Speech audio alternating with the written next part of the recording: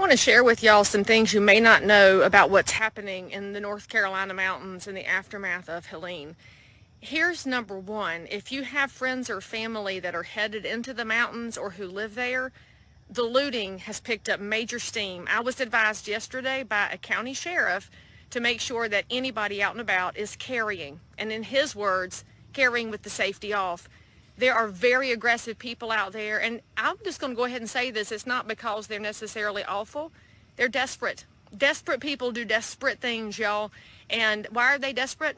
Because there's no water in some of these communities. We have neighbors in North Carolina with no water. And all I can say is this, the government ain't coming to save you, not now, not ever, because they don't care about you, the people, anymore. It is the citizens who are going to have to step it up. Now, I got to tell y'all, I was floored yesterday by how my community, which is a little over an hour away from the affected areas, showed up at donation sites with water and diapers and formula and some uh, liquid IV. I mean, y'all brought all kind of things, bleach, vinegar. You are ready to help, and we're going to take more donations today.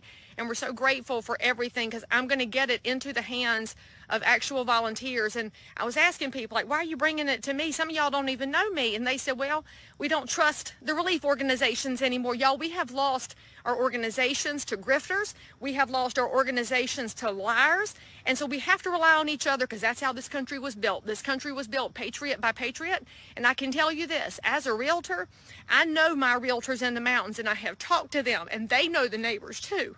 So I am getting your donations into hands that are going to get it into hands. And everybody that sent me dollars, I got teams of shoppers out and I got receipts to prove it because we are not grifters. We are neighbors and the patriots that are in the mountains. If you see this, if your family sees this, hear me now. You are not forgotten by the rest of North Carolina. And if you are not in North Carolina, then there are ways that you can give. But can I just remind y'all of something? You cannot eat money. You cannot drink money.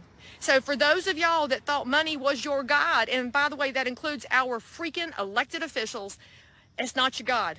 Told my girlfriend this morning while we were talking about this during our run, I said, tell your children, she's got grown children, this is why you keep a stash of water on hand. This is why you keep a stash of food on hand. But for those of y'all that are not in affected areas, if you can take your donated items and send it to the mountains, then send it with a friend. Make sure you're sending truckloads so that we don't overload the roads because our first responders are overwhelmed. By the way, thank you, Governor DeSantis, for doing more for North Carolina than North Carolina's governor has. I'm very grateful for your National Guard because we have to help each other, y'all. And I'm going to tell you something. If you will share this with somebody who doesn't know what's happening in North Carolina, they need to know. They need to know that there are entire towns gone. Chimney Rock is gone, a beautiful town. Swannanoa, gone. Montreat, gone. Other towns damaged beyond repair. That means our geography has changed. Our culture is at risk. But most importantly, our people, our generational people have lost their generational homes. This ain't about your granite countertops anymore. Listen, y'all, listen. Tell somebody how they can help.